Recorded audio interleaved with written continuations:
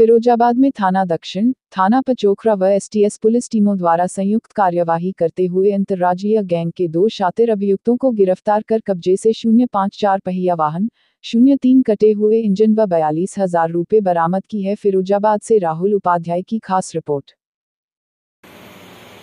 थाना दक्षिण, थाना पचोखरा और स्पेशल टास्क स्क्वाड टीम को बड़ी कामयाबी मिली है।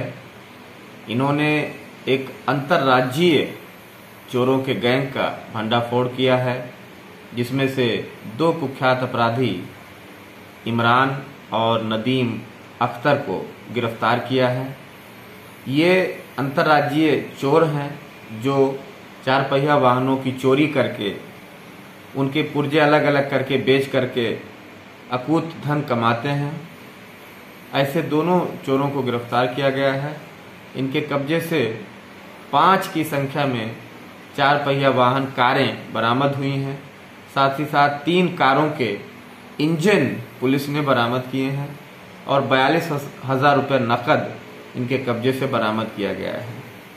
इनके तीन साथी मौके से फरार हुए हैं, जिनको गिरफ़्तार करने के लिए तेज तरार टीमें लगाई गई हैं। इसमें जो अपराधी है इमरान, उस पर दिल्ली, आगरा, फिरोजाबाद आदि स्थानों पर तकरीबन सत्रह मुकदमे दर्ज पाए गए हैं। ये बहुत ही बड़ा चोरों का एक रैकेट है, जिसको पुलिस आज सबूतों के साथ जेल भेज रही है।